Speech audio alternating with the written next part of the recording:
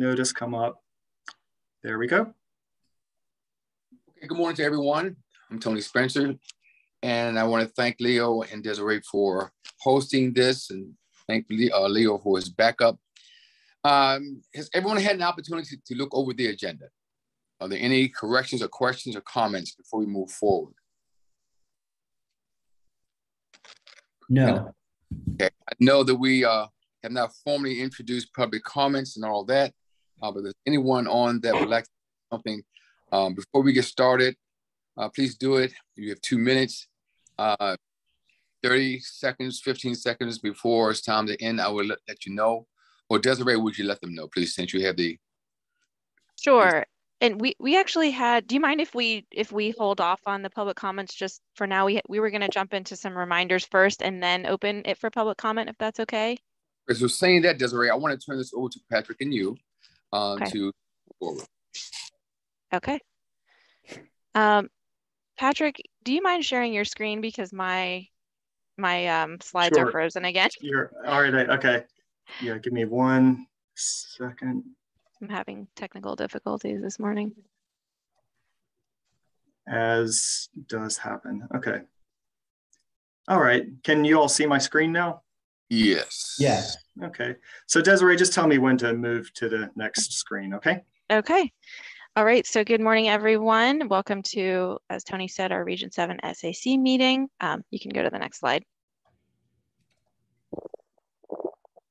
So um, just as we get started, just wanted to remind everyone um, just a few Zoom reminders. We are we have the chat open, but um, for members of the public who have joined us, just note that the chat is not monitored during the meeting, but comments will be made or comments that are made will be recorded. Um, also, this meeting is being recorded itself. Um, next slide. Gosh, my notes are frozen too. Okay, so just to quickly go over the agenda, we'll go over a, a we'll start off with some quick reminders um, and open the meeting obviously for um, public comment. And we will continue on to our old business of approving the February 22nd meeting notes, uh, finalizing the SAC charter language, and finishing off our virtual driving tour from the February 22nd meeting. Um, after wrapping up the driving tour, we will um, go over the public involvement plan that you all should have received in an email last Friday, um, which includes a detailed meeting schedule for this region plan process. Um, and then lastly, we'll go over some upcoming meetings and outreach tools that we currently have live right now. So real quick, um, just wanted to, before we jump in, go over a few reminders for the purpose of this region plan process and the mission of the SAC. So again, um, the purpose of the region plan process is to outline a regional vision for the future on a 20 year horizon as it relates to land use. Um, this also presents an opportunity to take the goals, policies, and strategies from Plan 2040 on a county-wide level and see how we can implement those um, for Region 7. So the hope is that we'll get a better understanding of the regional growth and where to accommodate such growth and where to prioritize our investments in the community. Um, so this process also provides us a chance to sort of fine tune the planned land use map for from Plan 2040 and develop recommendations for zoning in this region. So your mission as the SAC is to help connect us county staff to a range of voices in the community, um, make sure that the collective vision for the future of the region is reflecting all voices of the community and um, also just to advise us as staff on the preparation of the goals and policies and future land use and zoning in Region 7. And then lastly, to ultimately support the region plan through the legislative process. All right, next slide. So um, our last reminder just to quickly show where we are in the planning phase. Um, we're currently in phase two in community planning. Um, we have now closed the community questionnaire that was open on the hub site and replaced it with a feedback map that will be open through June 9th. Um, we have also announced a community forum on April 20th, which we will give more details on later in this presentation. And we are kicking off our topical work workshops with you all, um, starting with our economy and public facilities meeting um, in April. We also have a public visioning workshop tentatively scheduled in October. So we'll get into more of these dates in the public um, uh, plan that we're going over um, later in the presentation. Okay, so next slide. Now I will hand it back to you, Tony, for public comment. And if you all pardon me, uh, well, can Desiree, can you see if anybody from the audience has their hand raised Let's for see. public comments? I can't see that right now. I don't see anyone. Oh, and we have Troy here. Let me permit him to. I don't see anyone raising their hand. Okay. And that's a good indication of for me that they want this request for public comment. I'm going to give you one last chance. If anyone has anything for public comment, uh, this is the time to do it. You'll have a maximum of two minutes. If it's longer than that, you have the opportunity to pass it on to Desiree and Patrick, and they will ensure that the rest of the committee sees it. Um, 30 seconds before your time is up, I will, uh, Desiree will give you notice, and then 15, and then five. And we will stick to the uh, time frame because of everyone's schedule. And so I want to thank you for your participation up front. So at this point, I don't see any hands for public comment. Okay. So please. We will carry on then, I think, to our old business. And actually the first um, agenda item on that is the approval of the meeting notes. So Tony, if you'd like to, um, you can go to the next slide, Patrick. We have. Yes. Yeah, and hopefully everybody had a chance to look at those meeting notes. And I think, um, Tony, if we could maybe have a little bit of a formal process with a motion and second and all in favor. Okay, so do we have a motion to approve the meeting minutes from February 22nd? So moved. Is there a second? Second? Second. Okay. Um, do we have any concerns? With that being said, minutes have been approved, first and seconded. An opportunity to uh, respond to that. Anyone who do not wish to vote yay or nay can recuse, not recuse, uh, they darn it, what's the word? abstain. If you say, I just want to abstain from this, for whatever your reasons are, you don't have to give them to us, but that's the process. So if there's no, the yeas seem to have it, there's no disapproval, no abstentions. So the ayes have it. Thank you. I'm sorry, Tony, how are we voting? You vote yay or nay, and Where? then by just your chat, you can raise your hand. You can in the chat. I'm asking now if anyone has. This is a Zoom is very unusual, and so the way I do it, I'm part of it in our church. If there are no, if anyone approves, just stay silent. If you have a, a want to say no, raise your hand and say it. If you have any abstentions, meaning you're not going to vote yes or no, then that's important for us to know for the record. You know, I, I, I hate to say this, but I, I think that maybe we should actually just raise our hands or do something to signal that we're listening and paying attention and approving it or something. That's fine. Silence doesn't really mean anything, right? Silence, well, silence can mean yes if no one makes any comment. But raising our hands is fine. I have no problem with that too. Uh, raising a hand says yes. So if you want to do it that way, thank you for your comment and I like the uh, suggestion as well. So all, all in favor, show their hand. Yes. Any noes? Any abstentions? The ayes have it.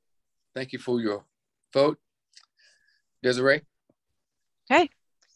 We can go to the next slide. Okay, so thank you again to Priscilla for incorporating comments regarding um, representing constituents and allowing for an alternate proposal if consensus is not reached. Um, just to throw up some of the text that um, were was modified, the red text represents the changes that Priscilla su suggested from the previous iteration of the charter language. So um, the, the, the title has been changed from reaching consensus to decision making, and then we've added some um, just a, a, couple, you know, sentences here that reflect um, representing the interests of their constituency. Um, if a member is unable to support a proposal, they encourage to have an alternate proposal. Um, and at the end, alter alternate proposals may be forwarded with the primary recommendation when consensus is not reached. So Priscilla, do you want to add anything to that or are we, um, does anyone else have anything else to add at this point? The only thing I would say is that there are several paragraphs after this that could in fact just be deleted. And I thought we were going to replace a lot of that stuff with this verbiage. But I, I don't, Um, you know, at this point, let's see. go with- I don't want to spend that much time on the yeah. Um, Patrick, did we decide to strike those paragraphs? What, where did we Um, land with that? I tell you what, let me stop sharing my screen for a minute. I'd like to pull that up and and take a look if if I could. Um, and I can share that with you all so that everybody can see what what we're talking about. There was a whole nother page after with all the things Mhm. about if and then and so on. And I thought we were replacing it with this more simple language. Okay, I've got it up here. Let me share with everybody. All right, can everybody see the, this is the draft charter as it, as it stands now. And so here are the changes that we just reflected. And then, so it was this items, these items one through seven that you're referring to, Priscilla, correct? Can you all see that well enough?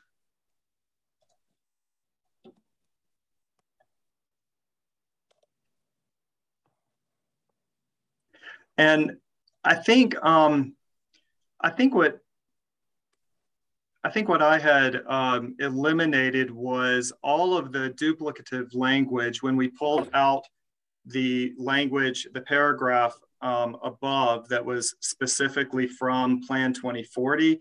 Some of that would have been repeated in in this list one through seven or eight, and I, I, so I deleted, yeah, I deleted those um, those items that would have been dupli duplicative. And then if we want to remove these remaining seven, um, they, they are a bit different, just adding a little bit more detail. But if you all feel like they're not necessary, we can delete them.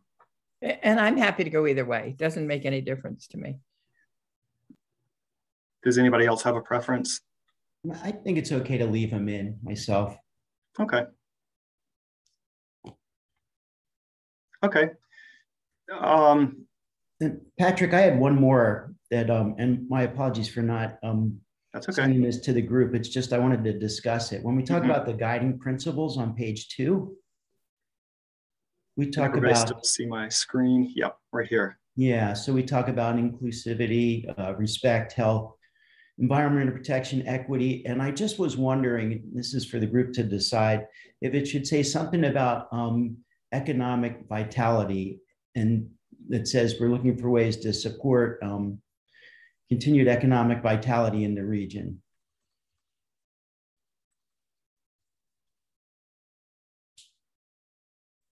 And I say that because we have environmental protection, which is so important. But also, you know, part of this process is to make sure that the community can sustain itself and support some, you know, uh, the economy as well.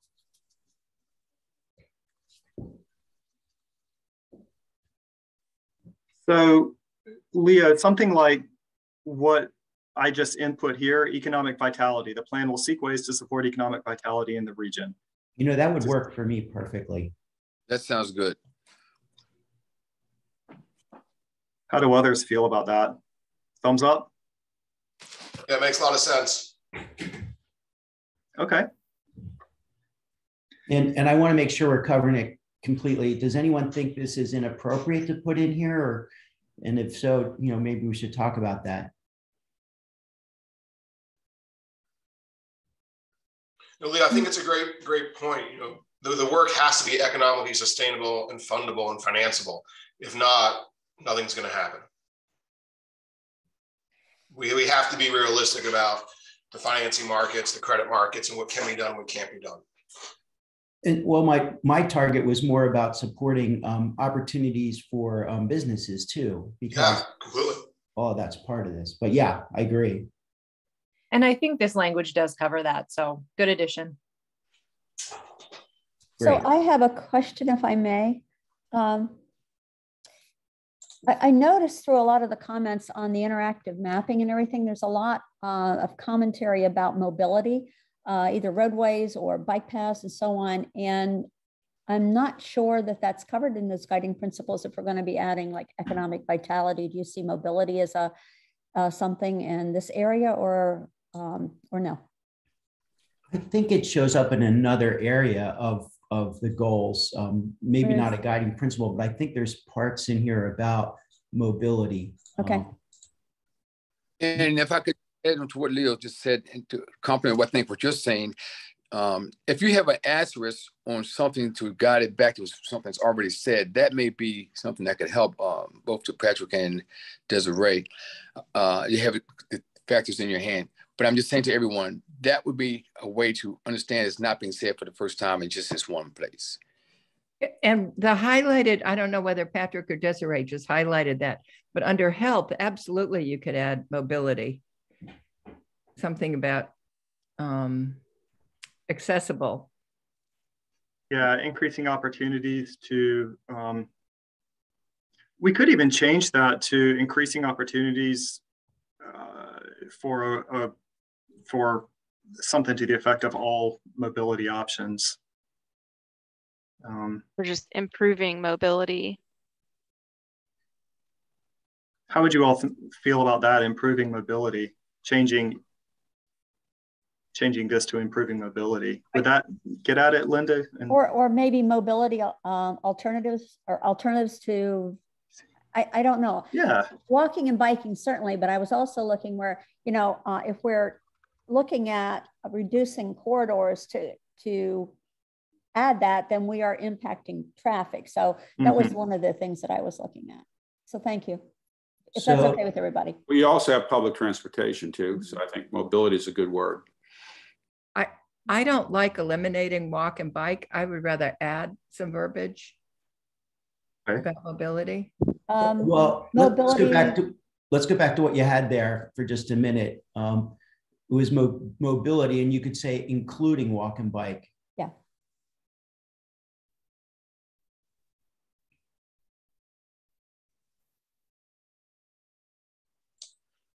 Thank you, Leo. That, that sounds that sounds good. Everyone pleased with that? Thank you. Is that also addressing accessibility? Opportunities, I think, I, I would read it as accessibility. Because I, I just noticed it. I mean, that seems, I mean, we're not spelling out anything about people with disabilities, um, you know, wheelchairs and all that. And unfortunately, because Annapolis area, the whole county, all of this is so old, so much of it is not um, accessible to people with disabilities. I will add, though, having worked in the city and being in the fire marshal's office and seeing what they're doing with the curves and the bathrooms, where it is possible, where people are renovating, that seems to be a point of including uh, those factors. If someone wants to have a certain location for the public and it's 50 people or more or more than 50 uh, they have to do certain things to change that building. So along with your pull bars in your bathrooms um, the door widths things like that. And so um, it's good to still bring it up but these being new tell me priscilla have you what, what is your experience in the county I'm, I'm talking about the city and I'm not just talking about um, in one's home or in a public bathroom. I'm talking about being able to get into a restaurant I am. There, there are many restaurants that are totally inaccessible to people with disabilities. Yes, I'm, I'm still talking about that I, from this from a fire marshal's standpoint. I'm usually talking about businesses. Homes is, is a different story, but we are talking about public access. Right. So, so if we're talking about parks and we're talking about um, buildings, I mean, I, am just saying, I think as we think about our guiding principles over the next 20 years, one of the things that we would like, and you know, one of the groups that I'm very involved with is AARP, we would love to see this become one of those healthy aging communities. And if we're going to do that, we're going to have to address um, people with disabilities and how to make it more mobile for them. So, so having said that, could there be a statement along with what we're saying already on what you're suggesting to say as, as change as changes are necessary or required that we will adapt because right now we see all the dis- disabilities that may, may uh, come before us. So we have something in there to make sure it's inclusivity, but also looking towards the future of things that we are not seeing right now. That making sense? Well, yes, but I don't like the word waiting until it's required because I'd like to see us be proactive rather than reactive. As Honest, I understand. I'm not saying, okay, I don't want to make this more difficult than it has to be. I'm well, saying to look ahead, and I already said that. So we have to look ahead. So I'm just saying the verbiage, we can play around with the verbiage, but I'm saying that we should have something in it saying that we are looking ahead along what we're doing. You can't see everything as, as much as we are talking right now to see and say and do the right thing. You cannot see everything. So we need a statement in there that would complement what I'm saying to make sure that we are continually being inclusive and looking for ways to accommodate. How about um, for all people, including those with disabilities?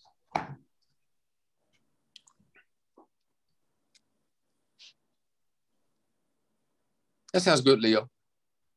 Does that does that cover it? I mean, it, it might be a little clumsy, but it's in there, which I think is a good. It, what I'm saying is, I see a hand for somebody. Uh, it's, it's, that was me. Sorry. Okay. All I'm saying is that yeah, it's good for now, but we cannot address everything that's going to happen. We need to have a statement that says that and recognize that we will still be looking for ways to accommodate. And if, if that's clumsily said, uh, I think you should get the meaning on that. So what I'm hearing is that you're you're suggesting that we have something that indicates that we want to be visionary in our approach. Is yes. And I hear that in both Priscilla and what Leo just said. I was just trying to meet the concern for what we were what we're not seeing right now.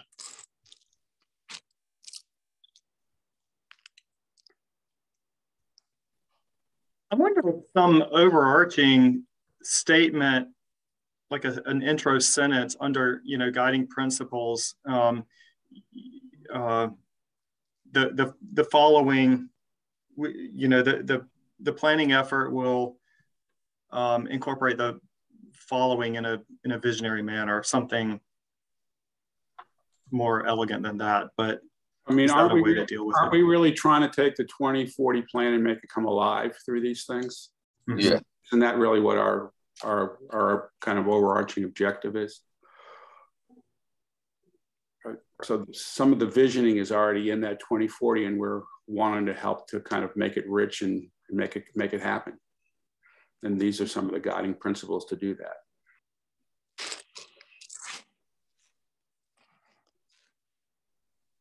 I think all of our intents are the same, just how it's said. I think it's what uh, it comes down to. The, the word visionary to me is uh, is is doing just that. I was just trying to make it clear that we can't always see everything. So I think visionary speaks to what what 2040 is about.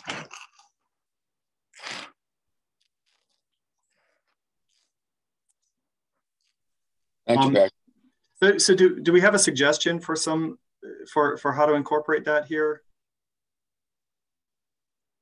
You know, maybe we need to think about it and bring it back next time. If there's somebody that wants to draft some language, because I think that that's going to take some playing around with it. Maybe. What does it? What I mean is there? What's missing? What I'm trying to. What does that add that we don't already have? What, what's missing? I guess that's what I'm saying. We, we can talk about it, think about it, but what else is needed? The point of my suggestion is that you can't see everything that is needed. We're doing what we can. I'm agreeing with what, what you both what you have said. We could just I'm, put something in there like, um, you know, the following guiding principles seek to implement the visionary plan of 2040. That hits Tony's idea of getting the word visionary. And then Larry, like Larry's pointed out, we are here to just to implement the yeah. 2040 40 plan. So then it kind of. That works. That works. I like that. I like it a lot. That's good.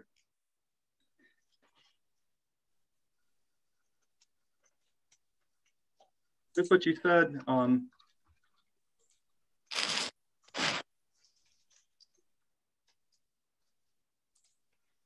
it visionary principles or something else? The visionary, visionary 2040 plan, more or less.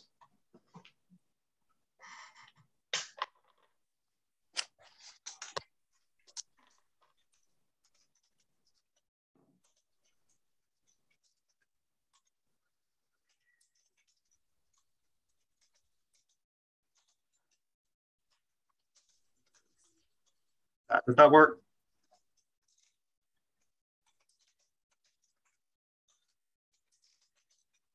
Okay. So does, does this generally then, um, is this something that we can say that there's consensus that we should move forward with this, this as the, the charter language for everybody to sign and, and work yes. with? Okay. I think it's good. Yeah. Yeah. I guess I'm wondering about the health statement. I'm going to be brave and pop in here. The the access to regional or to recreational opportunities. Um, could we add and nature? Reducing population or pollution, that's all good, I think. But if we could just, yeah, thank you. I don't know how you all feel about that.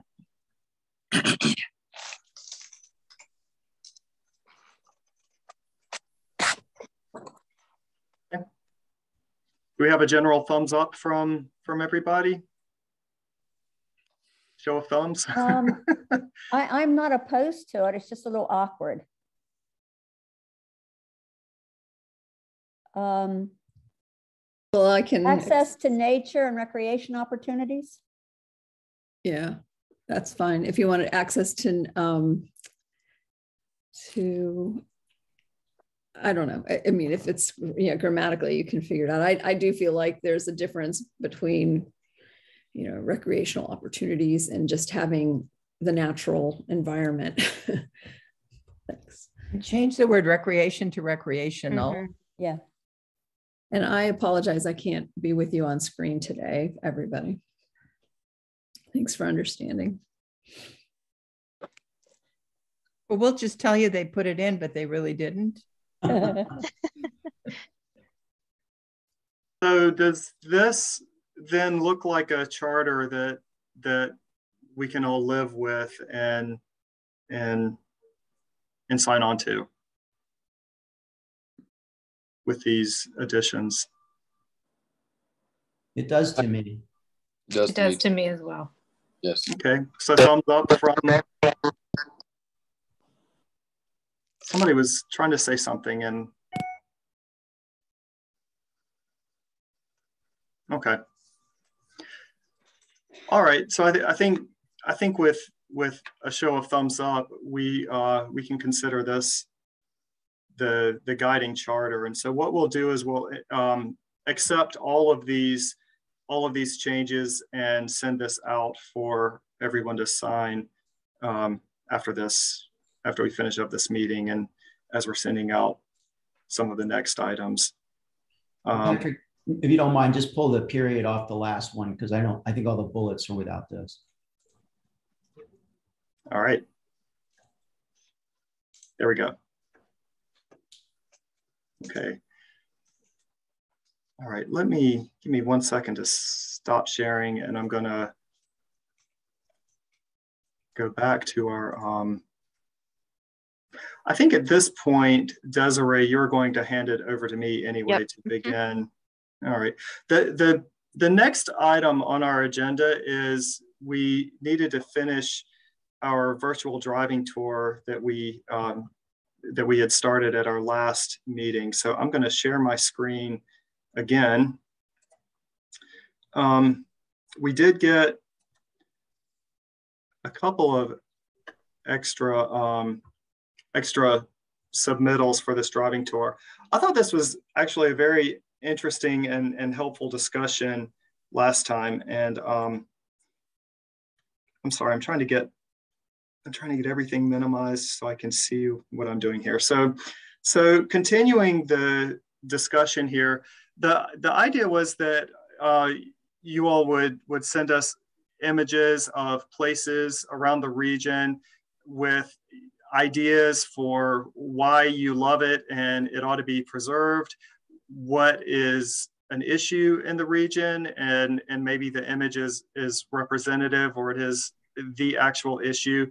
So what um, things maybe need to be improved, and then areas for thinking toward the future. If this is a plan that we do look at a 20-year horizon, you know what's missing and what what could be um, needed in the future. So those you know might be some areas that um, that could transform over the next 20 years.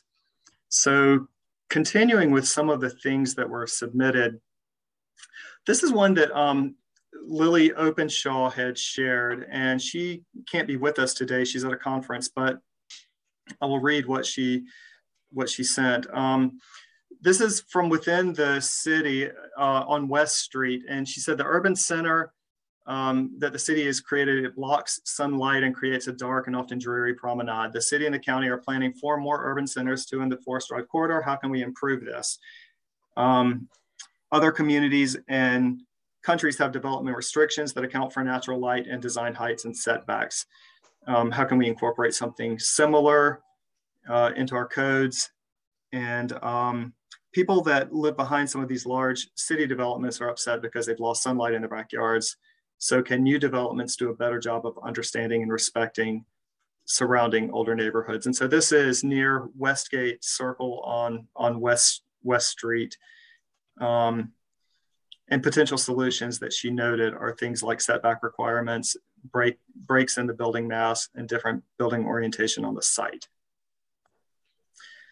Um, she uh, had also submitted this um, image as well regarding bus stops. Now these are these are actually in the city, but she's um, noted that this is a, a fix-it.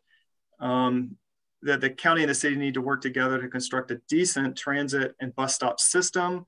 That the demand exists now, but it'll only increase as city uh, upzones and encourages further development. Um, if the plan is to rely on more public transportation, bus stops and transit stops need to be improved. And so this one in particular is on Bay Ridge um, Avenue across from Bay Ridge Garden Apartments. And if you know the area, there's a hardware store and this and a vet in the building immediately behind here. Um, what potential solutions at a transit hub in the Southern Forest Drive district and inventory bus stops and ensure that they're accessible and more protected against the weather. Um, moving on, this this is one that I wanted to to talk to, and then um, Troy, I'm gonna I'm gonna call on you a bit because you had submitted some images as well. This is the the Bestgate Road area, and there are several planned land use changes in this area that were that were recommended during the Plan 2040 process that would um, that aligned some of some of the properties that have already been developed with, with, with what was recently built. So uh, an office building here, these sites um, on the north side of Bestgate, just for orientation, this is the very corner of the mall right here. So we're we're um, sort of east of the of the mall, and Admiral Drive comes up to connect to Bestgate here, Admiral Drive Medical Parkway. Um, one of the areas, this much of this area between the mall and, and Medical Parkway was recommended in Plan 2040 to be included um, in the in the larger parole town center. And in conversations with the, the, the property owners of this area, um, the parole town center master plan actually recommended um, changing the planned land use on Gate Drive and, and Herndon Drive and actually reverting that back to a lower intensity planned land use as it was um, designated in the Plan 24, in, um, I'm sorry, the 2009 General Development Plan. So, um, so, so Plan 2040 had recommended town center land use for, for this whole area. Um, the subsequent uh, Parole Town Center Master Plan recommends um, changing ha about half of that to, I think it was a low medium density residential land use to, um, to recognize the, the homes that are in this area here.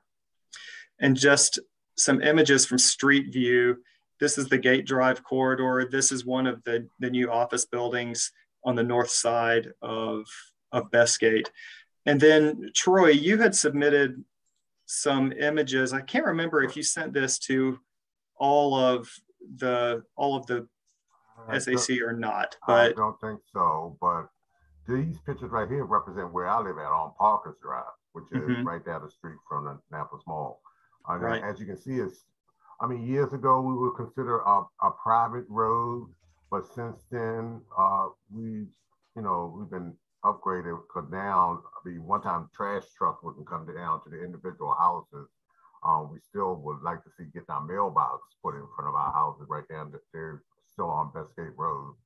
But the issue is blacktop. I mean, um, recently we have submitted, uh, as a community, submitted a, a, bid to try to get um, uh, water and sewage. And we're in the process of a meeting with the county to try to get that set up.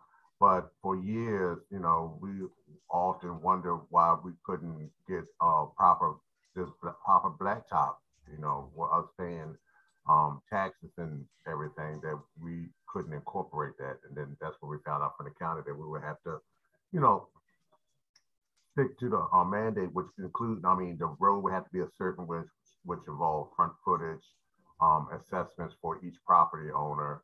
Um, and we're in the midst of of trying to work that out. But um, Tony had asked me to submit because I was telling there's still some communities that still have dirt roads, and one of them is Parker Drive, and the other one is Harrington Drive, which is right down the street from me.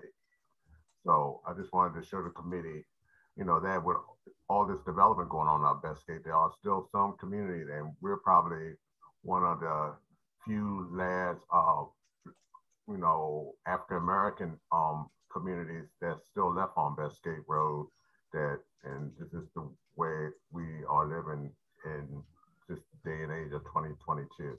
So just wanted to bring that to the group. Thank you. Thanks for sharing that.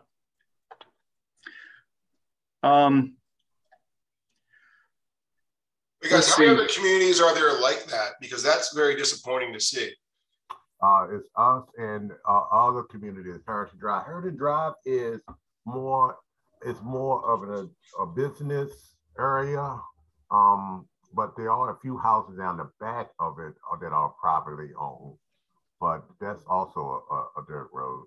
But Troy, do you have a sense for any of the areas of District 7 that are in the county that have a similar situation?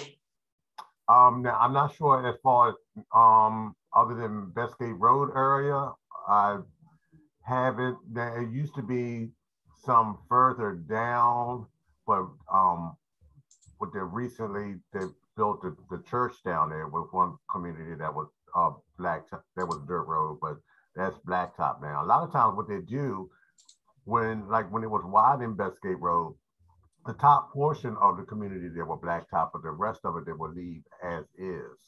Um, and I don't know if that was a county code mandate for it to be done or or what, but um, I don't know. Uh, that's one of the reasons I wanted to get involved with um, these planning committees and everything because a lot of times we were unaware of everything that was going on with the county. And a lot of times by the time we do find out these things, you know, it's already too late to put our opinions or to vote on all these issues.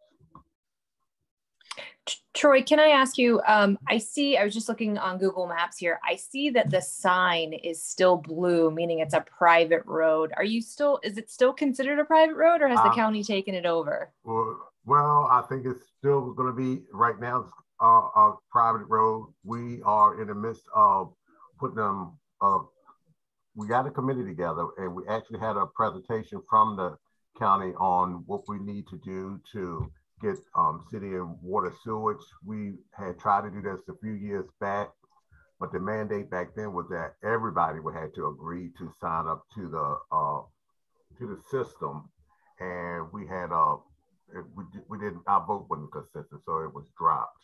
I see. Recently, it's been brought up again because down the voting um, process is not by individual persons, by the number of lots on each person property. Uh, so, so we are in the midst of trying to do it again, and then we just see where it goes. Um, but one of the concerns was like the mailboxes. They are on Bestgate Road now, and it's fine during the summertime, but when we have uh, snow and stuff, and uh, uh, state highway trucks come to plow the road, a lot of times the snow plows they will beat up and knock down those mailboxes, and, and we have to replace them every two or three years. Um, whereas though if they were, if we could move them back down to each individual house, um, because we have a lot of seniors that live in our area, that will make it more handicap accessible for them to get their mail. I see. And, and somebody asked if there were any other, um, I think it was Jonathan, if there are any other areas like this. I recall um, looking for an address to the east of Parole Town Center in, in that community that basically um, lies east of Route 2 and I would say south of, of West Street. And I recall running into several streets that were like that, very similar. And now mm-hmm. that was probably about two years ago. Whether they still exist like that or not, I could certainly uh, drive through there in the next few uh, weeks and look. Are you speaking of a community off of Solomon's Island Road just before Route 2, between Forest Drive and Route 2? Uh, Forest Drive and Route 2. Route 2 runs north to south, Forest Drive is east to west. So it would be um, north of Aris T. Allen, I would say, um, and east of Route 2, south of West Street. So there's a Subaru dealer there, I think, and up over the hill in the, that back area. I, I saw a couple of streets up there. Oof. Now that was that was probably two years ago, and they may not exist like that now, but I can certainly look. I, I, I think they do. I think that's another good example. I, am not sure, um, Patrick. You can look because I was looking over there too. If that's in our area, um, I, um, I, I, didn't remember whether Route Two was a was a. Oh, maybe that's just for the Parole Town Center area. Yeah, yeah, right. the Route Two at Parole Town Center, not not yeah. north of 50, south. Yeah, yeah, yeah. Okay. Mm-hmm. And, and, then it would be um, prior to Chinquapin. So it's just a small area in there.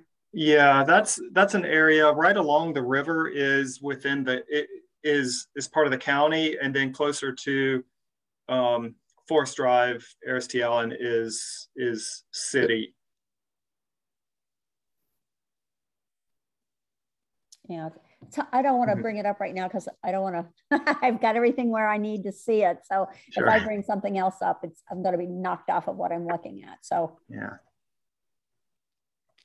But going back to kind of what Troy just brought up, isn't isn't this exactly what we're supposed to be kind of talking about and doing this and kind of elevating this, saying that as part of this process that we should, you know, get that kind of input and look at mm-hmm. areas like this and make mm-hmm. recommendations as it relates to not just zoning, but in, you know, kind of the, the public improvements that um, he was talking about and, and mm-hmm. being able to help preserve and enhance these kind of um, mm-hmm. these neighborhoods. Right. Well, right. to me, to me, it's also about equity because I, you know, it's hard to imagine that that the county um, is not um, what would I want to say? Um, embracing. Uh, and, and I know how difficult it is from what I've read in our community when we put in sewage out here in a, in a, an area that's surrounded, uh, uh well, surrounded by water in the city uh-huh. uh, and barely connects to the county. Um, but it was a, a difficult time to, to get sewage in, and that was done in 1993. And it should not be that hard these days. It just shouldn't be. Yeah, if, if I can point out too, I kept going back to this map because I wanted to be very clear where we are. So, so if this is the mall and the little strip mm-hmm. center, mm-hmm. Parker Drive is the first drive uh, okay. to the east of that between before you get to the Federal Navy Credit Union. Uh-huh. Um, and and to to also point out the Parole Town Center Master Plan had well, Plan 2040, like, like I mentioned, had recommended all of this area being. Can you all see my cursor? Yeah. Uh-huh. Yes. Okay. Had recommended all of this area be included in the Parole Town Center uh, master plan area. So had applied a a planned land use of town center to all of this area. In discussions with the community, the Parole Town Center master plan recommended pulling out Gate Drive and Herndon Drive, but Parker Drive was, uh, at least in the Parole Town Center master plan, was um, th there was no recommended change to what Plan 2040 had recommended. So in other words, this would remain in the Parole Town Center. Now, no, there are no planned land use or zoning changes recommended with the Parole Town Center master plan. All of that is going to happen with this region plan update. So there'll be another um, opportunity to look at this area and and decide if this should be part of the um, more intensive Parole Town Center area, or does this need to revert to um, I, I, think in this case, it would be a, a commercial land use for the bank and then one of the residential land uses for the Parker Drive area. Well, I know so, a lot of the uh, concerns is the property tax difference between the town center mm-hmm. versus mm-hmm. a, a, low density um, tax bracket. And I think that's what our community is trying to strive for. But with us um, I mean, me personally, I never knew the process of how all that got determined. Um, but that's what the concern was between Parker Drive and Gate Drive, because across the street, yep. the, the, new community, and I understand they're underneath another jurisdiction, but they that was a big question why they wasn't included in the parole town center. They're just right across the street, but we found out, you know, they're underneath the, well, I guess it's Severn Association where they still considered a lower density tax bracket versus us being in the Parole Town Center where we have a higher tax bracket, but our, um, you know, the residents there are in lower income versus across the street who are in mm. higher income. Mm-hmm. Yeah. Okay. Um, let me move. We have a couple of other areas to. Could, could to, I just? Uh, could I'm sorry if I just go, go back ahead. because because I think this is a, a really very important um, kind of discussion and example for us where if you mm-hmm. go back to those principles, we're talking about economic vitality versus equity versus, um, you know, kind of affordability that those things play out because you could see how land values would argue one thing in terms of the, the higher density, but you could see how you have an existing uh, neighborhood that needs to kind of, you know, be, be heard and be part of this process. And how we think about this, you know, I think, um, and be able to kind of balance that, I think is going to be, you know, uh, pretty important for us in terms of going forward. And I think that's really the part of the nexus of, of what, you know, what this group is all about. Point. All right. Um, Jonathan, if you're if you're still with us, you had submitted uh, this area along Bay Ridge Avenue. Would you like to talk yeah. a little bit about your thoughts? Yeah, yeah, sure. I mean, just coming up and down um, Bay Ridge Avenue, right? There's a number, and especially going towards Annapolis Neck, You can see like the CNC liquor. There's just a number of kind of small scale individual properties that are, you know, frankly on a main on a main thoroughfare with plumbing, with electric, that already have blacktop that, in my view, could be granted some sort of zoning relief to allow for affordable housing, office, uh, mixed use properties. The, the general idea here is, hey, let's let's make use of the fact that the county's already spent significant infrastructure dollars, um, and you know, make it a nice place for either affordable housing for mixed use. And you can just see, you know, just but and when you drive down, you know, unfortunately, some of these areas have become pretty blighted. There's been fires in some of these properties. They've kind of become overrun um, with with some petty crime and things. Unfortunately, I know that personally. So like the, these areas are ripe to have some zoning relief to maybe either encourage property sales or encourage other activity. Can I ask a question on that?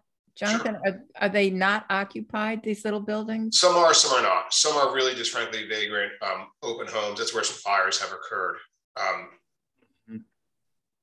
some are not. Yeah, if you, if you drive down there slowly, you can even pull into that CNC liquor spot and just actually mm-hmm. walk in the back there and you'll see some un, untoward stuff going on. Mm-hmm.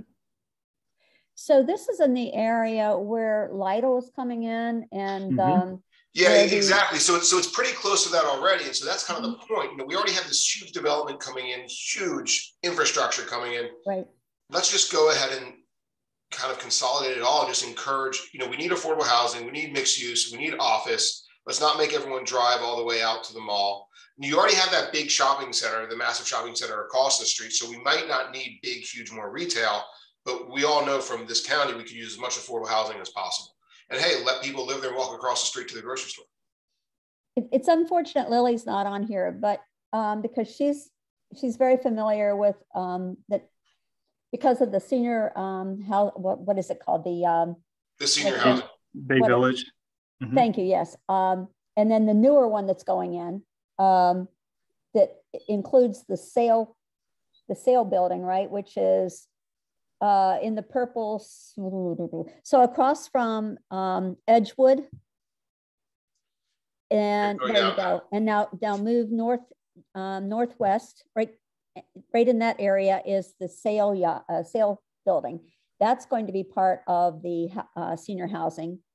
And then that Bay Ridge um, or Bay Village Drive needs to extend northwest in order to provide access in the rear for uh, first responders, fire and EMS, and, and mm-hmm. law enforcement. And I think that there was an agreement um, that that would take place. And I apologize, I don't have the information handy or, or specifics. Um, but that would help, I think, with what you're talking about. It, it will. The big conflict in the county, and I'm not sure how many of you are familiar with something called the adequate facilities legislation but there is law. There, there's a reason why we have so much senior housing in Annapolis, right? It's not by chance. It's because the way that the current code works, if you build more than 11 residential units, there must be adequate facilities in terms of schools.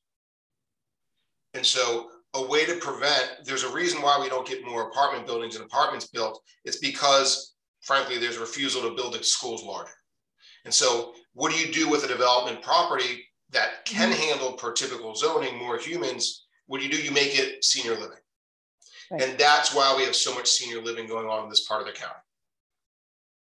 So if we if we if we do care about affordable housing, we need to grant some huge relief on the adequate facilities, or we just got to build more schools in Annapolis, which we all know we need.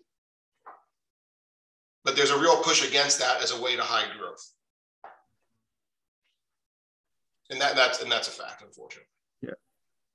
Um, I was going to put, I, I, added this image um, to this presentation because I wanted to point out the um, jogging city county line in this area oh, yeah, as well. It's crazy, Pat. Could you comment on that? Because I don't think any yeah. of us in the investment real estate world understand what's going on. Yeah, so so the the parcels that you see in orange here are all county parcels, and everything in purple is city um, city property. So the giant across the street, Bay Village, all of that is city. The um, the shopping center uh, here on on Hillsmere Drive is the city. and then the McDonald's and all of the blighted properties and where the Lidl is coming in is is county property. Now the the sort of um, smaller shopping center um, that we showed you in a prior in the prior picture here. This um, shopping center had come in during Plan 2040 requesting a planned land use change, really to to extend the existing. Um, I, th I, think it's a commercial um, planned land use designation on the front part of this property and, and their request was to extend it to the full property, which, which was uh, granted through Plan 2040. Um, so I, I'm not, I don't know if that means that there are plans for redevelopment of at least this property. We know a lot of this is is in plans with um, with the Lidl.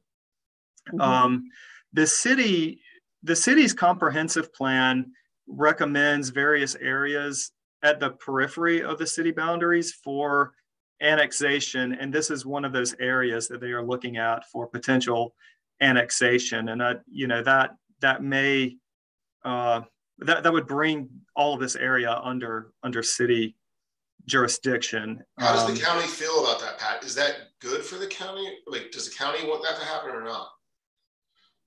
Uh, I don't. I don't know that we have. Uh, I don't know that we have a say in it. Um, okay. I'll be I'll be honest. I'm not as familiar with how annexation works in Maryland as I'm familiar with South Carolina, where I'm from, and and even North Carolina. It, it's very different in every state. But I like not, not, just sure for these properties, but out by the mall and so forth. Like some zoning is actually better for the county than for the city. Mm-hmm. So if things in the mm-hmm. mall or if the city expands, you actually get pulled into some of that adequate facilities and some of this harder zoning requirements. Um, mm-hmm. So it's an interesting thing to think about for the county. Right. In, in that area, especially with all the um, uh, added senior housing and so on, especially as you go out Edgewood, uh, my understanding is that the city is having a hard time keeping up with um, EMS and fire um, support, and therefore I believe at least they were contracting with the county because there were so many county runs out of uh, Station 8, which is going down for the neck slightly about, uh, you can almost see it in this, this photo. Mm-hmm. Um, I think this is But, but they were putting such, uh, such um, an impact on the county resources that at some point in time that the uh, county requested um, contract, you know, some kind of contract reimbursement.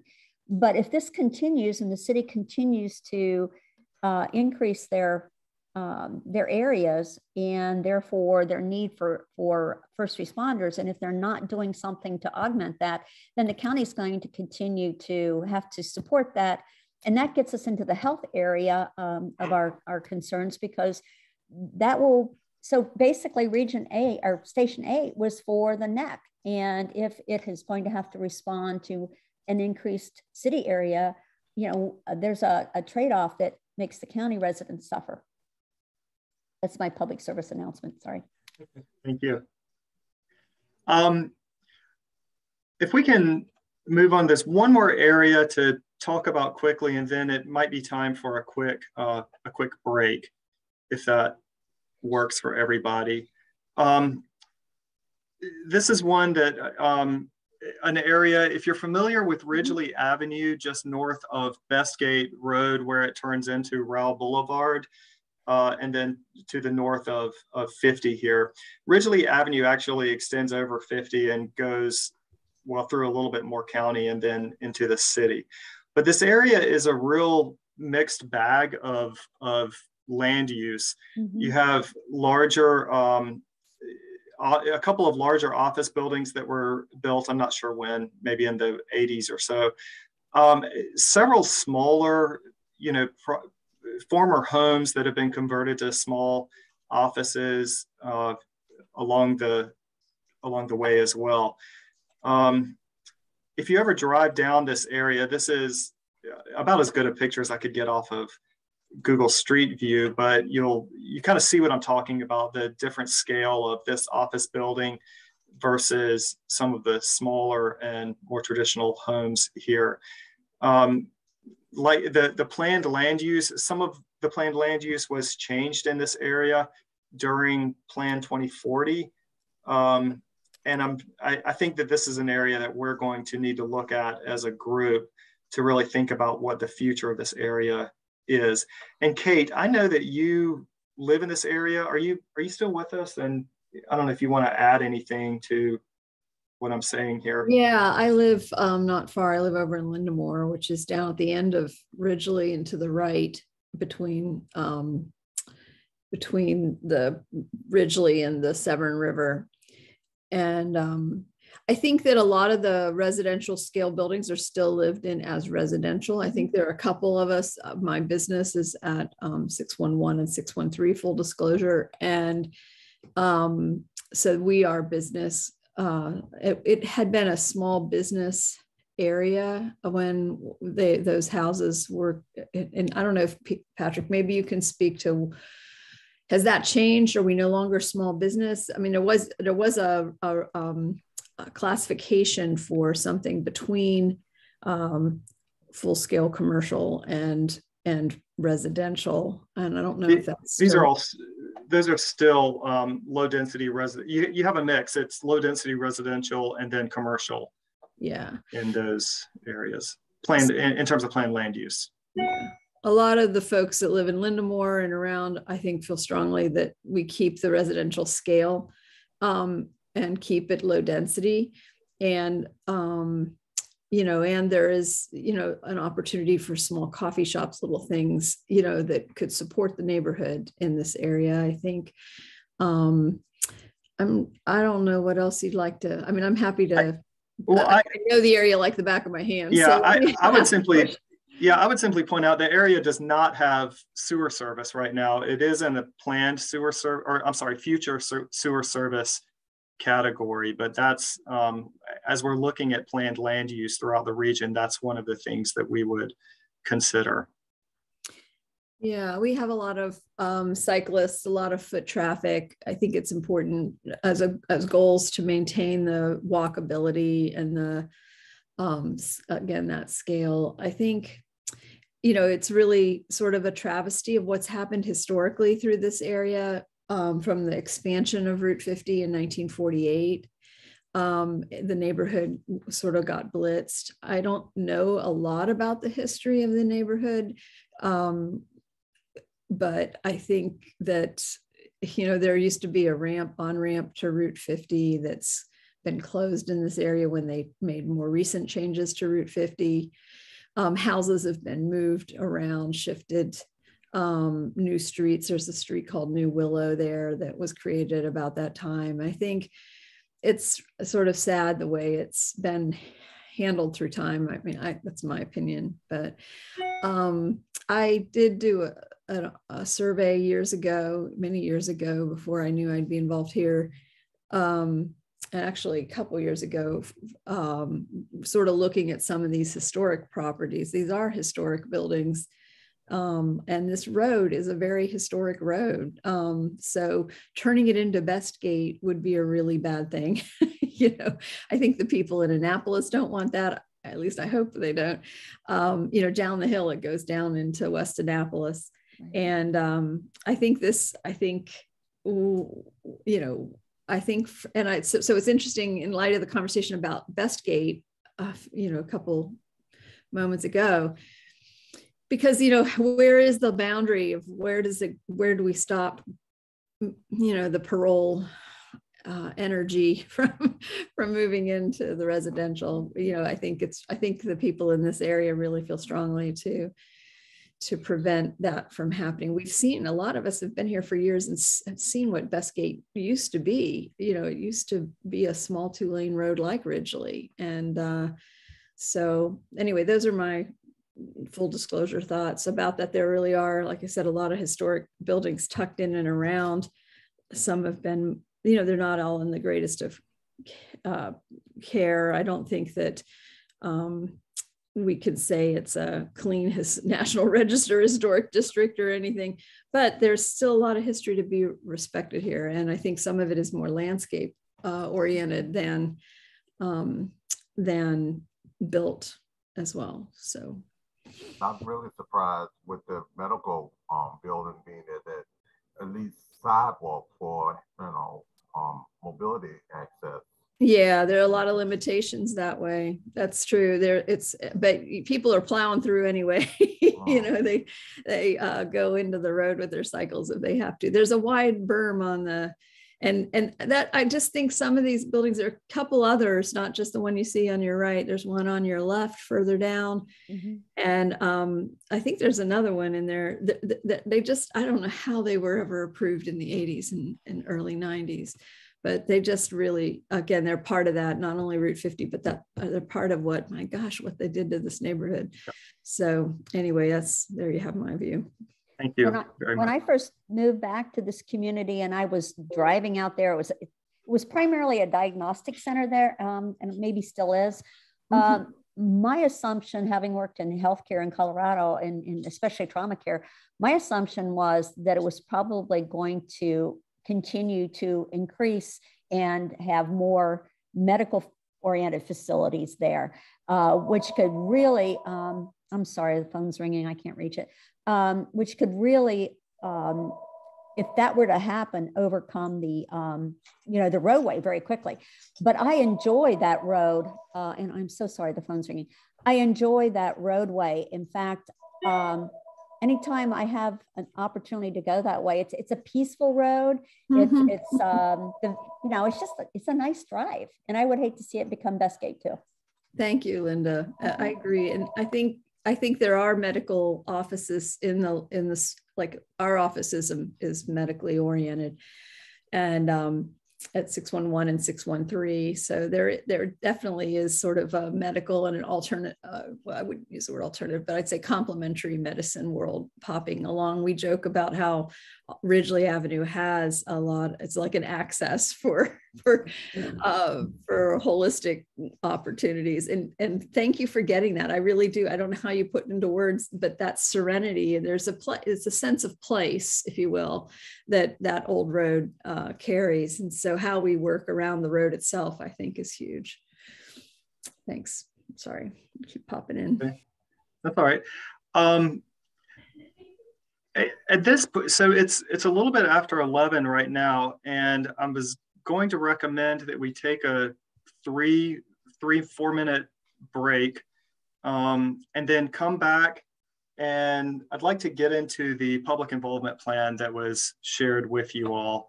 Uh, does that does that work for you all? And Tony has had to sign off, um, so Leo is going to take on the the chair role for the rest of the meeting. So Leo, does that does that sound like a plan? If we maybe meet back at eleven fifteen? Yeah, it's 11 11 now on my calendar. Um, let's give people just a bit more time um, to get a break and get a cup of coffee, and we'll get right back at it. And um, so let's say uh, let's say 11 18, we'll be ready to go. Okay. All right. We'll be back then. Okay. Thank you. Okay. Thanks.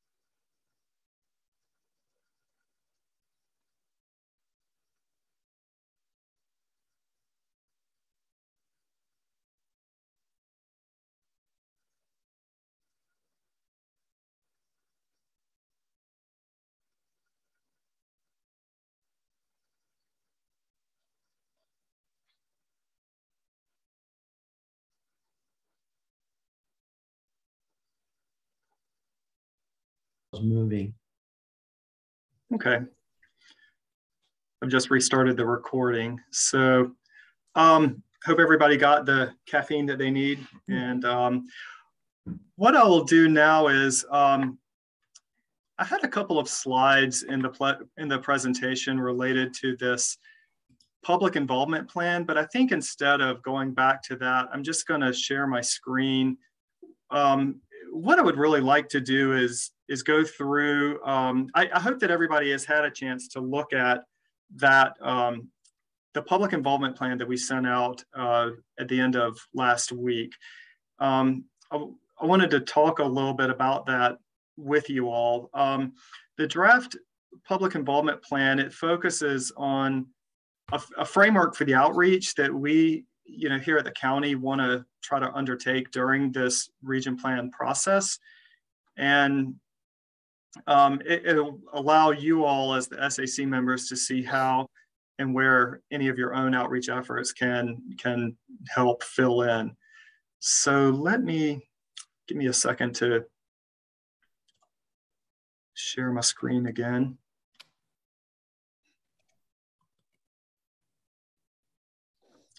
Can everybody see that? Mm -hmm. Okay. Um, what I would like to do is uh, really just walk through some of the main pieces of this. And um, I'm sorry, I'm trying to trying to get my screens set up here. I can't see anybody's, uh, I can't see the participants. There we are. Okay. If anybody raises a hand, it might, it might be easier for me if, if you have questions as we go through, if you'll just speak up. Um, so this, this plan though, it combines the, the major outreach efforts with the overall schedule for the region plan process, including all the SAC meetings and the, the big um, public outreach events that we're that we're looking to do. I, I, will say this is a living draft, and so this is going to evolve a bit as we move through the process, just depending on our on on the opportunities that come up and the resources that we have available to to put toward them. So, um, looking at this, um, it starts off with really what are the goals of our of our outreach, our guiding principles. I would recommend that we make the changes that were just made in the charter, um, input those same changes here under under these principles. Um, hey, Pat, Patrick. Yes. Can you, can you zoom in a little bit to make it bigger for the font larger? Thank you. Is that better? Yes. More reasonable for people to read. Thank you. Yeah, thanks. Um, and you all pipe up if, if there are any questions or, or comments that you have as we move through. Um, so there is a summary of some of the some of the major um, recent political uh, previous community input that we've that we've had. So through our Plan 2040 various sessions there, there was a lot of public input with the Parole Town Center master plan and also the parole mobility study that fed into that master plan. So there's a summary of input if you all are interested in looking at that. We're going to hear as we move through this process from different agencies in the county. These are some of the key agencies, transportation, public works, rec and parks, and the others. Um, we're going to hear from them about some of the, the work that they do, their staff concerns, and, and what they're hearing from citizens. And then also, we've always talked about uh, the city of Annapolis and how important they are to be coordinated, for, for us to be coordinated with what they're working on in the city. And as we've mentioned, they're going through their comprehensive plan process now, and there's a whole lot of public outreach that they have done that they'll be able to talk to as we go through this process. Um, I did include a link to their comprehensive plan page. There are several other plans that the city has recently undertaken. There's an Eastport Forest Drive sector study, an uh, Outer West Street sector study. Um, there are others in recent years as well. Um, the, the comprehensive plan is, is the, the current one that they're working on, and, and that is a citywide plan that ideally would, would uh, capture a lot of the, the goals and policies that were set in some of these other smaller sector plans. So that's why I listed just the comprehensive plan here. Um, there is a general list of some of the key stakeholders that we want to try to hit as we're moving through this process. So, um, so really a, getting at this idea of a range of voices that we want to that we want to hear from. This is where I want to spend a little bit of time going through this with you all because I, I've always thought that this is really important that you all see the big picture uh, as we move through the process, where we're at now and where we're going. So um, I'm going to spend a little bit of time going through this public involvement timeline and tactics because it does include all of the SAC meetings and and uh, the the and how the input that we're getting from the public will interface with that, and then the comprehensive rezoning process that will happen toward the end of the of the planning process. Um, this overall timeline does get us to a point where we have a region plan, and that's the the end result is going to be a document that looks a lot like Plan 2040 in that it'll be a policy document with goals and policies. There will be a planned land use map that will be an amendment to that uh, planned land use map of Plan 2040. And we are getting into zoning recommendations through the comprehensive rezoning process uh, with this region plan. So I'll talk a little bit about that. But overall, um, the schedule is, if you really think about it, just in very simplistic terms, there are three main phases. And you, any planning process, you first start with asking, where are we now? And then where do we want to be? And how do we get there? If you just think about those three broad phases, we're in the process right now of asking, where are we now? We're getting ready to get into looking at what are the existing conditions, what is some of the planning work that has already been done. And as we're going through this, um, you'll see that the next uh, several meetings with you all are meetings that um, we have we have different agencies from the county and and even the city that will talk to us about the work that they do as it relates to land use. That's uh, giving us some of the existing conditions um, in various topics over the next uh, several months.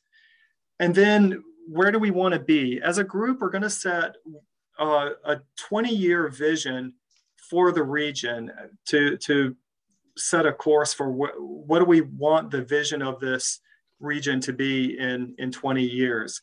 And then we're going to set goals and, and such to um, help align with that vision. And then that third phase of, of how do we get there, that's where we outline policies and strategies to, uh, to help uh, to help meet the vision that we established for the for the region. Um, we'll be also looking at uh, zoning as a as a key tool, and then recommending other key tools that will impact the the land use and help prioritize um, some of the, the investments that need to happen in all of these, these various topical areas that we will talk about in the next couple of months, the next several months here. So, so that's in a nutshell, the overall schedule. Um, you'll see the next, um, we, we're here in March uh, with, with uh, this meeting that we're having now. So if we look to April, we are planning a all regions community forum on the 20th where um, we're going to be there to answer questions from the, the public about what the region plans are about. And um, we will start to gather some feedback from, from residents um, that will help us inform what the vision of this region should, should be. Um, if I back up just a little bit, so we've had a survey or a questionnaire that was opened um, in the middle of December that we just closed at the end of last week. So we already have some data that has come in um, in the terms of in the in the way of public input that um, Desiree and I have not had a chance to analyze that beyond, I just saw that we had 101 responses to that initial uh, questionnaire. So we'll be coming through that data and sharing that with you all in the next week or two here. Um, we are starting with um, some of these stakeholder interviews. We have a meeting, there's a meeting this Thursday with the Annapolis Area Community of Hope, where we want to um, begin to hear from them and understand what some of the needs are from their perspective. And um, let's see, uh, community forum on April 20th. Our April 26th meeting is where we begin our topical meetings, and that's um, our economy and public facilities uh, agencies, um, the Economic Development Corporation, um, Office of Emergency Management, Police and Fire, and I think schools will also be uh, at our April meeting to give us a presentation and to um, allow for some time for you all to ask questions about about what they're planning and um, for the for the future of this region. Um, in the next week or two, we're going to be sending out some background information from Plan 2040 and then any other um, information that they have prepared since Plan 2040 was put together. We will share that out with you all as background information ahead of this meeting so that you all can have a look at that and be ready to to discuss and ask questions in the April meeting. But in general, that's how these, these next several months are going to look.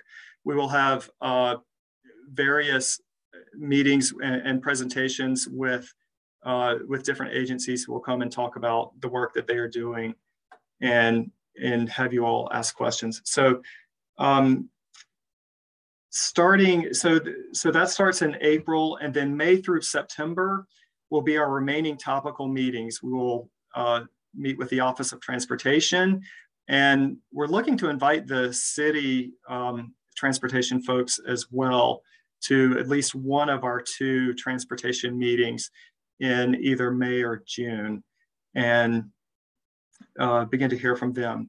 Um, at each of these, like I said, the agency will present at the meeting and then following each of these topical meetings um, from May through September, we will take the information that we've been given and, and some of what we're hearing from the public in our outreach.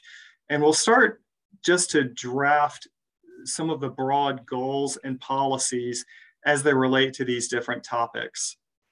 Um, so that's happening May through uh, through September we do have several other surveys and uh, questionnaires that we are looking to open during that time frame.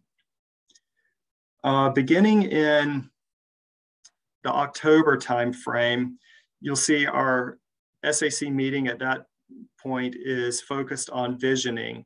And so after we've gotten our input uh, or our presentations from all of the different agencies and the topics, um, the various topics that, that go into this planning effort, we will work together to set a, a vision, a 20-year vision statement for the for the region, and then we'll move into um, refining and and finalizing the goals, policies, and strategies for a couple of sessions through uh, December. Um, now, these will be I, I, would see these as really a refinement of the goals and policies and strategies that are established in Plan 2040. We want to kind of take those and figure out how to how to really implement them at the region level. How do we fine tune and, and make them a little bit more specific to the region? Um, when we get into January, we should have a a draft of those goals, policies, and strategies that we can share out with the public for, for input on, on those.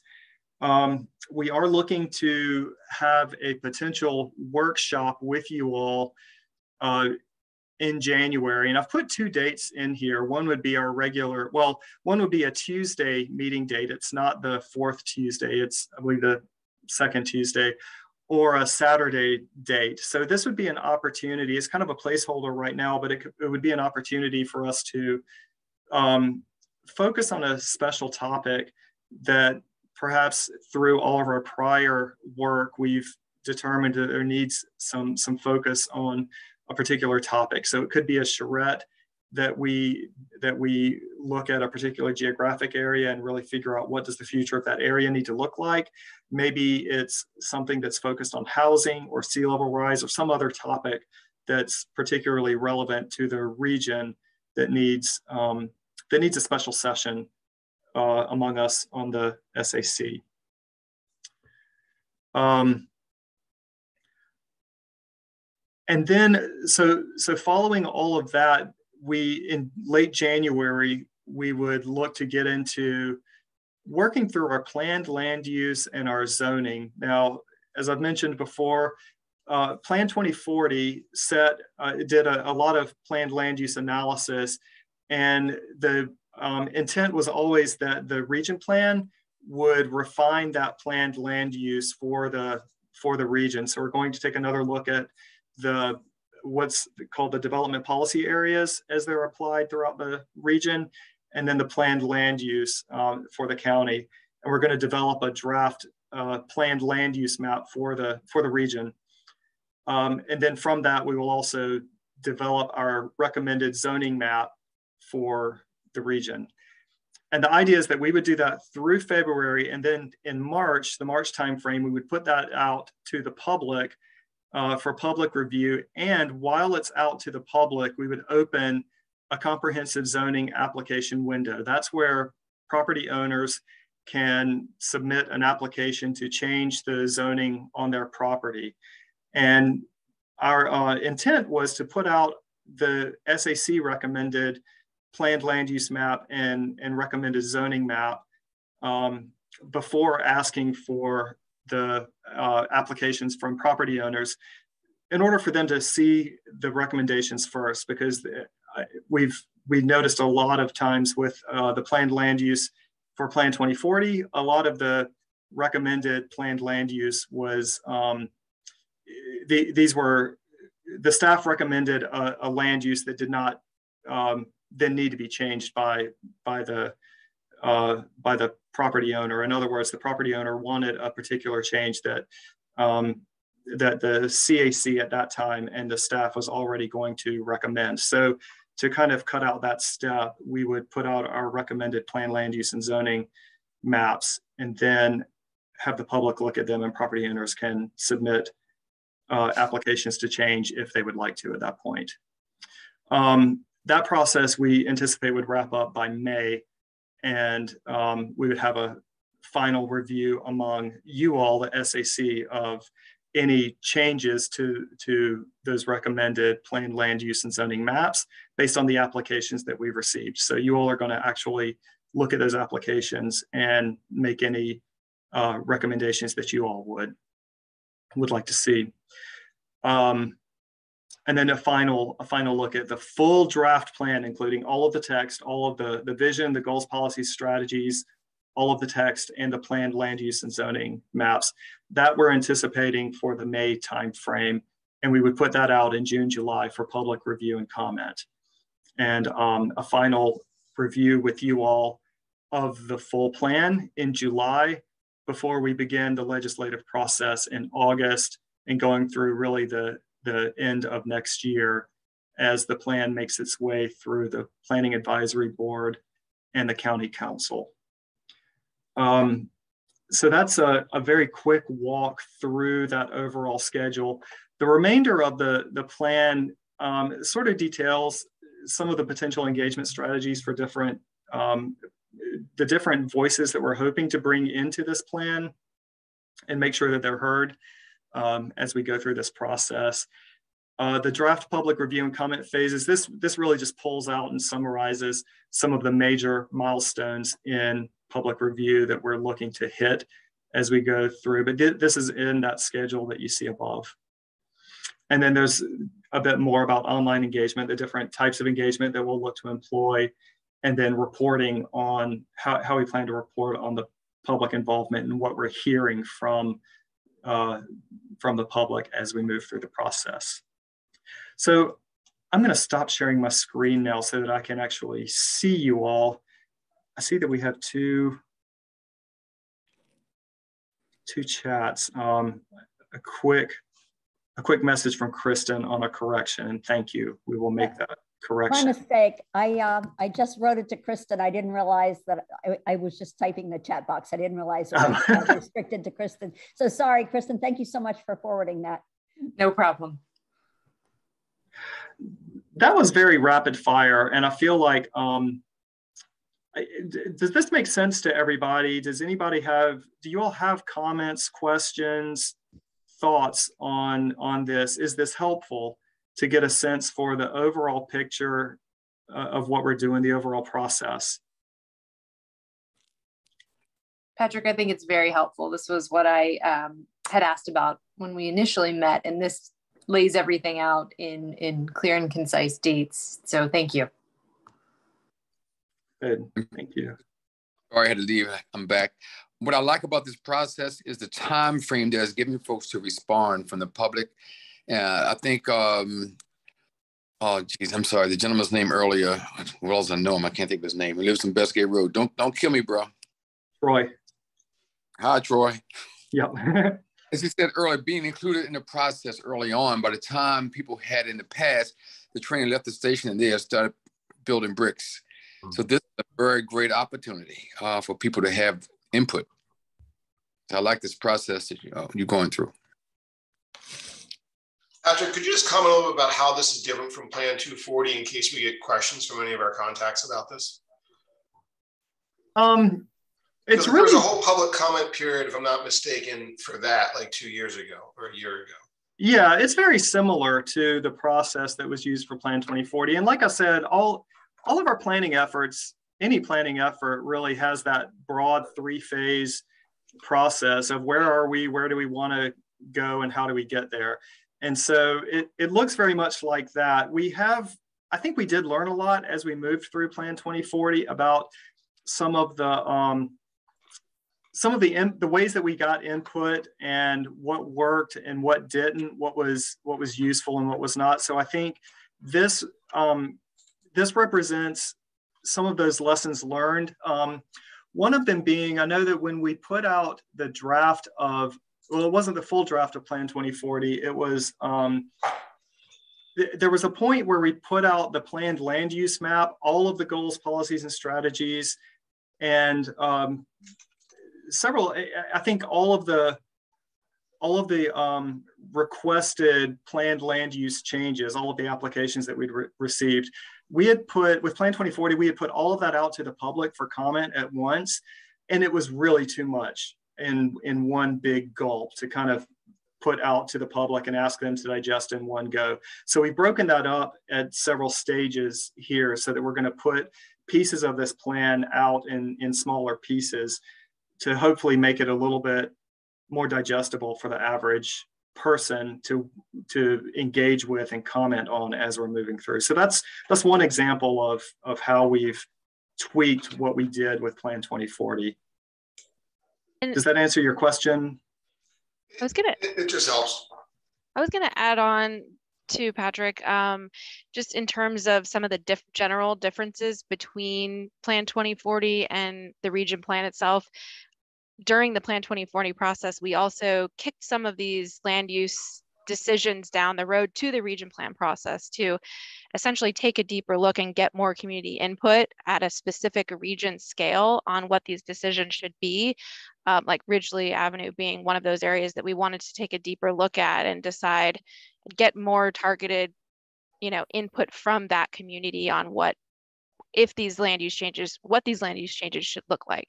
And then another important component is that Plan 2040 didn't include zoning changes. It only included land use, um, plan land use changes. So the region plan process will include that zoning piece as well. So this will actually, we'll look at the plan land use map and make recommendations on, on a specific, on the specific region scale, and then also update the zoning as well. So Okay, the zoning can obviously be complex, Desiree. So I know, speaking for myself, I would love almost like a tutorial or even if you just want to record, frankly, a video I can watch on my own that says, hey, here's what the zoning is now, here's what we're thinking, and here's why, because the zoning can get very complex. It, it does, it, and and we're going to be that, that's where we're going to be doing a deep dive into that toward the end of the process in the January, February timeframe. Okay. Mm-hmm. As you hold the community meetings, will we be invited so that we can hear their feedback? Yes, yes, absolutely. Um, yes, we would like to have you there. And will those be live or zoomed or what would they be? We, um, we don't have, uh, so the, we've only planned as far as the, the forum in April. That one is going to be a virtual um, meeting um, for, for people to, to engage that way. We haven't planned out what our what the format's going to be for the other engagements yet. We will flesh that out as we move forward. Uh, have you talked about maybe having the city have someone represent them on our committee so they can hear the same things that we are talking about so that we won't have to wait until May or June to hear from them? Um, we, yeah, we could, um, I can reach out to the city. We, I don't think we can have an official, like another um, official member of the SAC because we're limited to 15 by by the uh, bill that was passed by the council. But um, I, we have been Desiree and I have met with the with Eric Leshinsky, who is the um, the planner, the uh, long range planner for the comprehensive planner for the city, and um, we can ask him if he'd like to attend all of our meetings. But we did talk to him about um, having at least the one meeting in September that was dedicated to uh, understanding the, the various city efforts so that we can coordinate with them. And we had talked to him about having him um, come and participate and present as well in with our land use and transportation meetings back in uh, that are coming up in uh, what is that May and June I believe yeah yeah, but I, we can talk to him about if they would like to participate as we move along as well.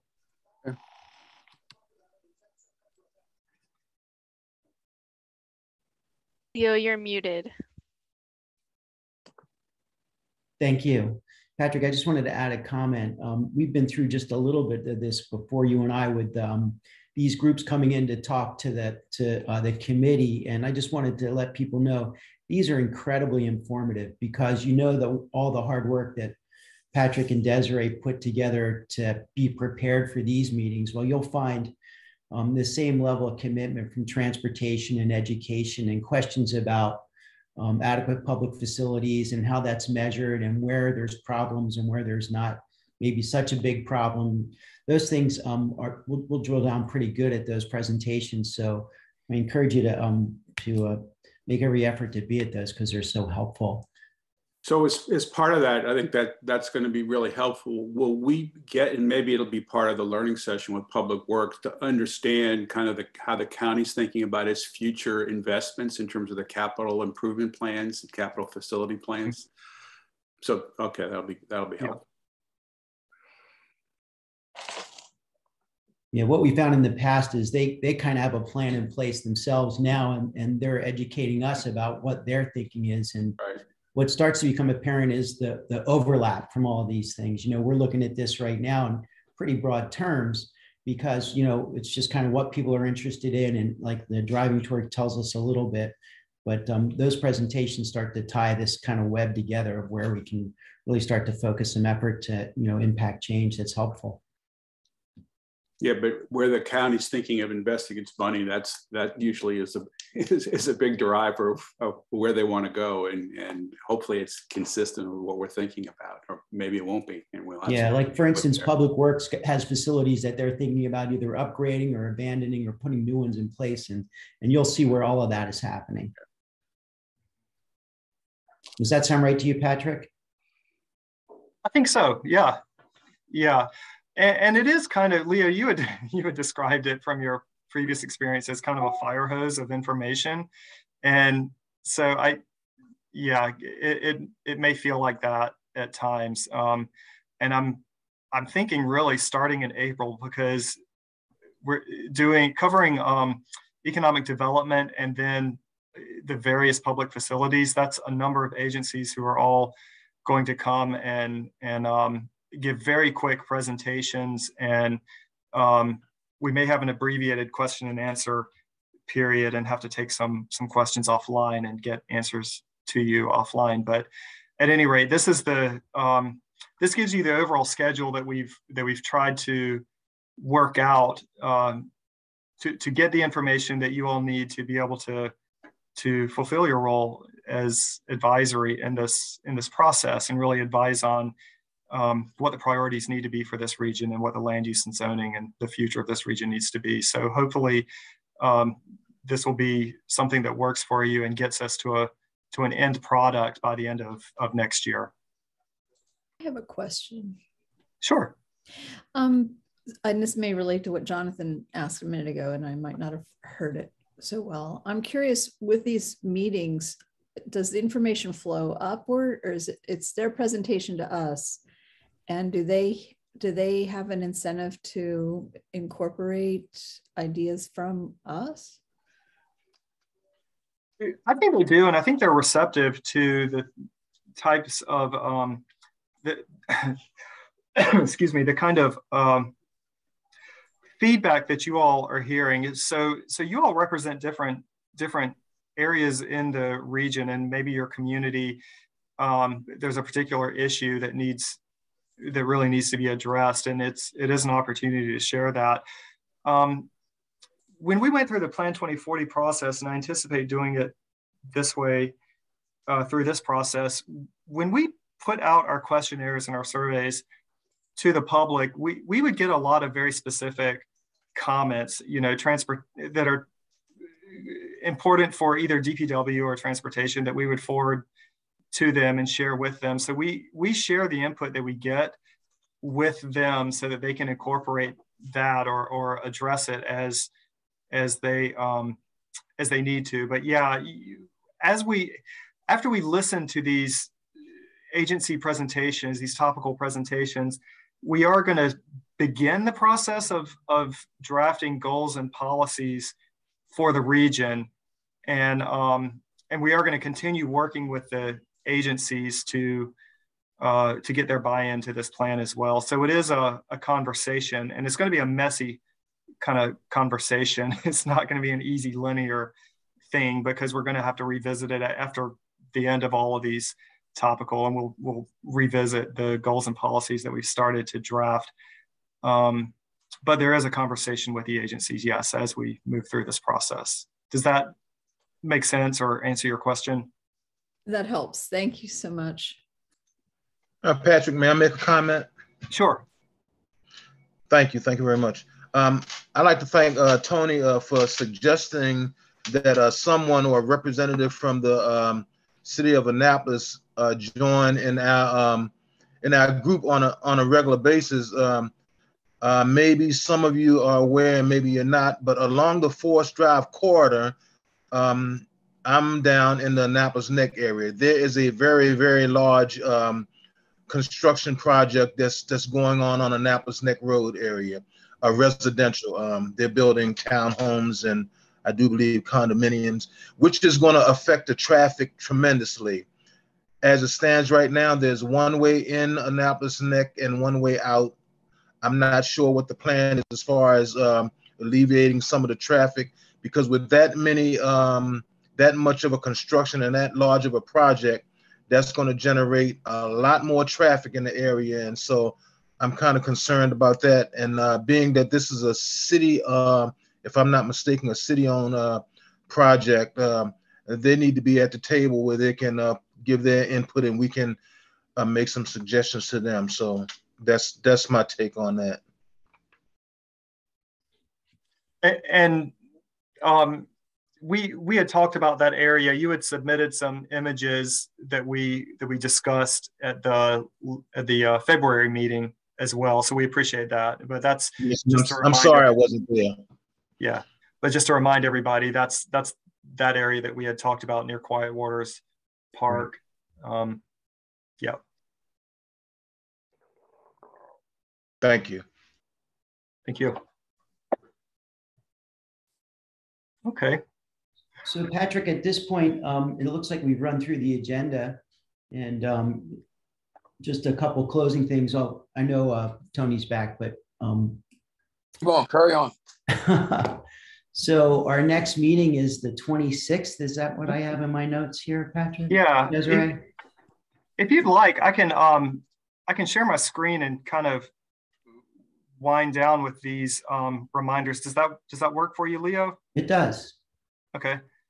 Um, yeah. So as I, as I mentioned before, we have April 20th. We have the public forum. It's going to be virtual for and it's going to be for all three of the regions at once. So the idea is just to really let residents know what these region plans are about and to start to get some input from residents and answer any questions they have about this, this uh, process because we are trying to stay aligned across the three regions. So it's a very similar process in regions two and four as what we're doing here in seven with the big caveat of we're trying to coordinate with the city. So that's a big difference for us. Um, yeah, April 26th is our next meeting and and then the meeting following that we will be getting into transportation and land use um, in May. We do have a feedback map out. Let me skip this slide. Um, I was going to point this out to you. If you look at our region hub, that's aacounty.org slash region seven, there is a new feedback map that was launched last week where people can actually zoom into this map. They click the comment function here and then they, they can add a geo-referenced comment as you see um, in this screenshot here. A lot of people have already started doing that. Um, and some of the comments are within the city. That's fine. We will share that with the city. But um, that's, uh, that's something that's out there now. So please share that with your networks as we as we move through this. This is going to be open. Um, Desiree, how long are we? June 9th. Oh, it's right there on the screen, June 9th. Yep. Thank you. And that's that's it. Just for the record, I'll put this up there. We do have our dedicated uh, email addresses and region7 at aacounty.org for anybody that wants to send any comments to us.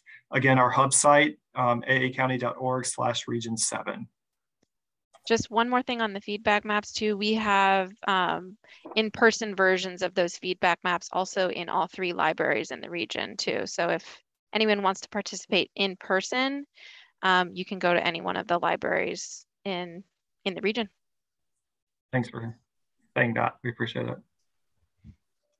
So, so with that, um, thanks again to everyone for uh, for making time to go through this with us today. It's it's exciting. It's, I'm starting to build more and more momentum as we get past this early stage. So things are going to start to happen more quickly. But um, I think at this point, um, I'm going to make a, a, recommendation that we have a motion to adjourn. Move to be adjourned. Tony. We have a second. We have a second. second. Great, great.